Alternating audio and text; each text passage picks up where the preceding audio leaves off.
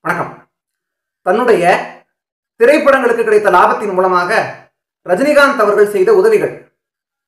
அன்புள்ள ரஜினிகாந்த் அப்படின்னு ஒரு படம் வந்தது. எல்லாருக்குமே தெரியும்.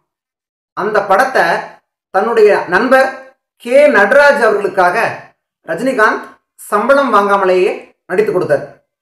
ரெண்டாவது வள்ளி அப்படிங்கிற திரைப்படம் வந்தது. அந்த படத்தையும் கூட தானே தயாரித்து தன்னுடைய நண்பர் கே. நடராஜுக்காக ரஜினிகாந்த் நடித்து கொடுத்தார். அருணாச்சலம் அப்படிங்கிற ஒரு படம் வந்தது. எல்லாருக்குமே தெரியும். ஆயிரத்தி தொள்ளாயிரத்தி தொண்ணூற்றி ஏழாம் ஆண்டு வந்தது. அந்த படம் மிகப்பெரிய ஒரு வெற்றி அடைஞ்சது. அந்த அருணாச்சலம் திரைப்படத்தின் மூலமாக கிடைத்த லாபத்தை ரஜினிகாந்த் அவர்கள் என்ன செய்தார் என்று கேட்டால் ஆயிரத்தி தொள்ளாயிரத்தி தொண்ணூற்றி ஏழாம் ஆண்டு நடிகர் வி. கே. ராமசாமி மிகப்பெரிய ஒரு கஷ்டத்தில் இருந்தார். யார்கிட்ட போய் அவரால் உதவி கேட்கறதுன்னு தெரியல. அருணாச்சலம் படத்துலேயும் அவர் கௌரவ தோற்றத்தில் வி. கே. ராமசாமி நடிச்சிருந்தார்.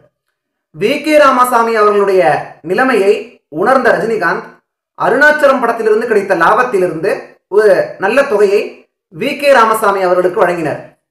அடுத்ததா படையப்பான்னு ஒரு படம் வந்தது.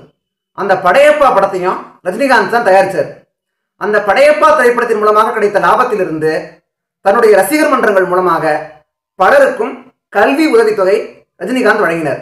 அதோடு தன்னுடைய மற்ற திரைப்படங்களில் இருந்து கிடைத்த லாபங்களில் லாபங்களில் இருந்து பல ஜோடிகளுக்கு திருமணமும் செய்து வைத்திருக்கிறார். இதுதான் தன்னுடைய திரைப்படங்களில் இருந்து கிடைத்த லாபத்தின் மூலமாக ரஜினிகாந்த் அவர்கள் செய்த உதவிகள்.